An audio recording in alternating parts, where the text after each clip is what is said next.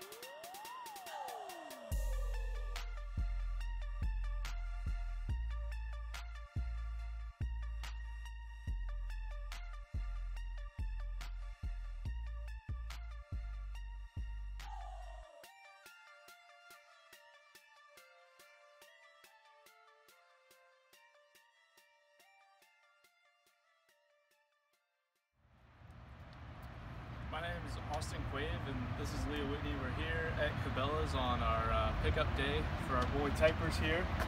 Um, he's done a, a, great job with Tank Mosley as his trainer for Off Leash K9. Uh, originally we had some problems uh, around other dogs and that obviously been uh, you know, fixed and he's very obedient now. What do you have to say? Um, I just am thankful that we get to take him in public places now because he used to freak out whenever he saw other people and dogs and now we get to take him to stores with us and to DC and have a good time with our